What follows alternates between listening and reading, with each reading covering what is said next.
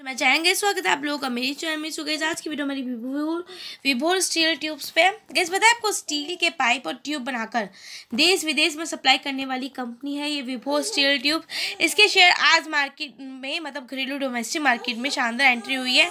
And gas आप कह सकते हो कि इसके आईपीओ के अंदर मतलब नियर अबाउट देखा जाता है कि इसके अंदर कि आईपीओ को निवेशकों का धासु रिस्पांस भी मिला था।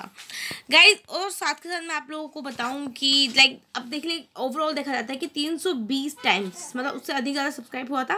एंड आईपीओ के तहत एक सौ के भाव पर शेयर जारी हुए थे। एंड बी पर इसकी चार सौ इक्कीस रुपये के प्राइस पे एंट्री हुई है और एन एस चार रुपये के प्राइस पे एंट्री हुई है। तो यानी कि आप देख सकते हो कि आईपीओ इन्वेस्टरों को कम से कम देखा जाता है तो एक सौ इक्यासी परसेंट का लिस्टिंग गेन मिला है।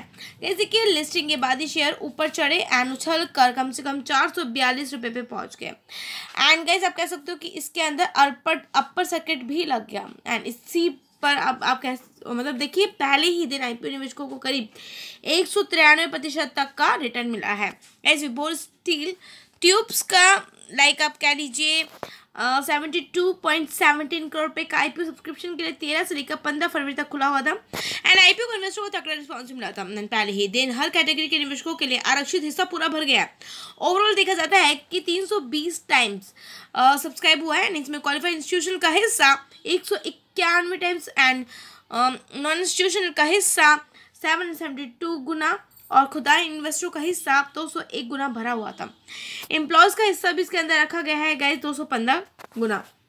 गैस देखिए आईपीओ के तहत दस रुपये की फेस वैल्यू पे बहत्तर करोड़ रुपए के नए शेयर जारी हुए हैं। इन शेयरों के ज़रिए जुड़ाई के पैसों का इस्तेमाल वर्किंग कैपिटल की जरूरतों को पूरा करने आपको अपने उद्देश्यों को पूरा करने के लिए किया जाएगा। जैसे कि आप लोगों को पता है कि मोस्टली आईपीओ में यही होता है।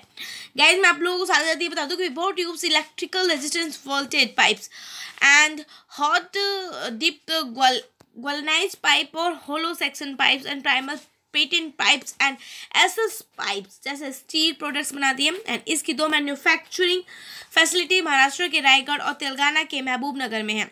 वेयर हाउस हरियाणा के हिसार में कंपनी अपने प्लांट्स में क्रैश बायर्स बैरियर्स जैसे वैल्यू एडेड प्रोडक्ट बनाने की योजना बना रही है, जिससे कि इसका मार्जिन सुधरेगा। इसके अलावा यह उड़ीसा के सुंदरगढ़ में एक और मैन्युफैक्चरिंग यूनिट बना रही है, जिसके लिए ज़मीन खरीदी जा चुकी है और प्लांट मशीनरी का ऑर्डर भी तैयार किया जा चुका है। गए साथ ही साथ मैं आप लोगों को बता दूँ कि कंपनी की जो फाइनेंशियल से उसकी अगर मैं बात करूँ, दो हज़ार इक्कीस में इसको zero point sixty nine crore रुपये का नेट प्रॉफिट हुआ था एंड वही बढ़कर दो हज़ार बाईस में ग्यारह करोड़ रुपये पहुँच गया। एंड दो हज़ार तेईस में यही प्रॉफिट इक्कीस करोड़ रुपये पे पहुँच गया है।